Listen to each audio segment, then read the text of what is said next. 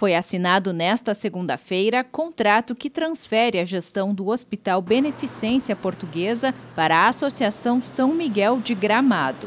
O grupo será responsável pela entidade pelo prazo de cinco anos. Assume também o passivo calculado em 80 milhões de reais. A expectativa é que sejam abertos 50 leitos privados de forma gradual a partir do dia 1 de agosto. Já a retomada do contrato com o SUS ainda deve ser negociada com os governos estadual e municipal. Caxias do Sul, na Serra Gaúcha, registra a primeira morte por gripe A. De acordo com a Secretaria Municipal da Saúde, a vítima é uma mulher de 48 anos que não havia sido vacinada. O último boletim da Secretaria Estadual da Saúde havia divulgado o total de oito óbitos no Rio Grande do Sul.